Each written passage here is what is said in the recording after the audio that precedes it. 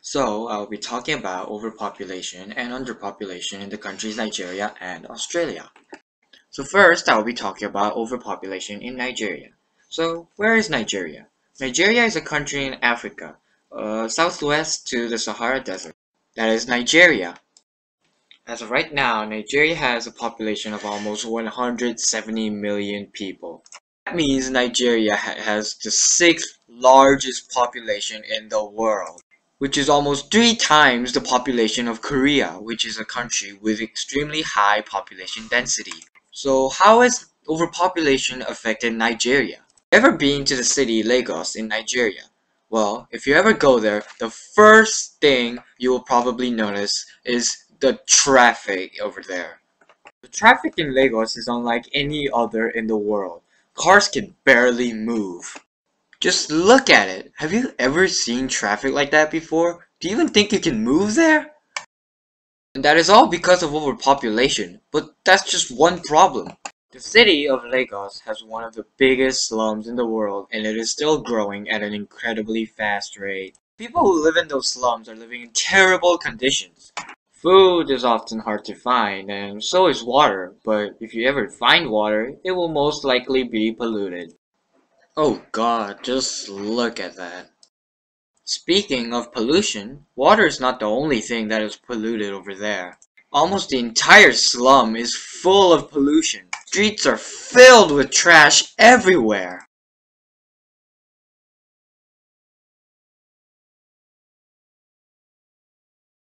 But many of the people don't really have a choice. They can't afford a house outside of the slums, especially in a city like Lagos. So many people need a house over there.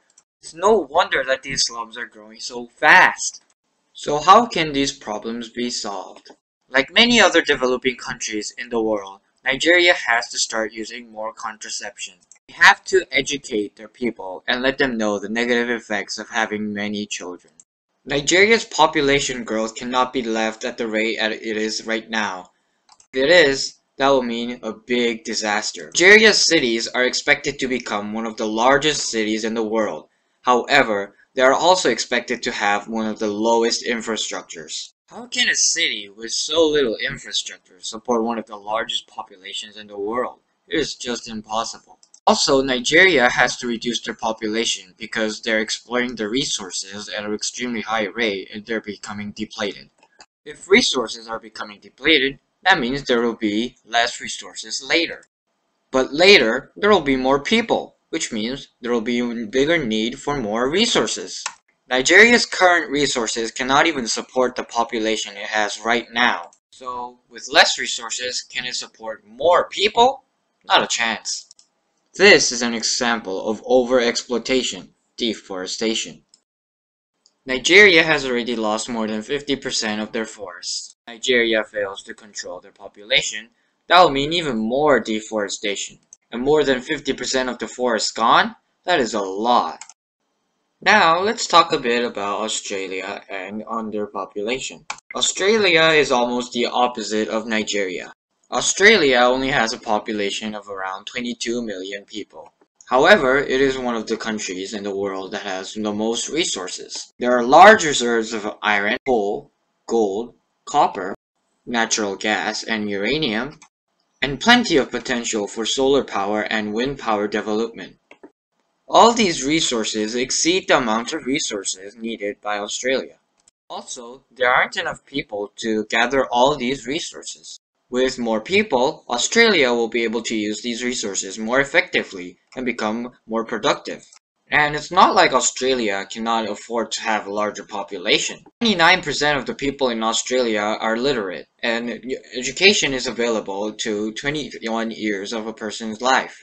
Healthcare is also very good, so life expectancies are high, death rates are low, and infant mortality rate is only 0.42%. So why isn't Australia's population growing? Well, like many other developed countries, Australia has a very low birth rate that is almost equal to the low death rate. But the population is not increasing. So right now, in order to increase the population, Australia is trying to promote immigration. Which is smart, since the world is suffering from overpopulation. However, to attract these immigrants to come to Australia, Australia needs more industrial growth. Unfortunately, Australia's small domestic markets are preventing foreign investors from promoting industrial growth over there.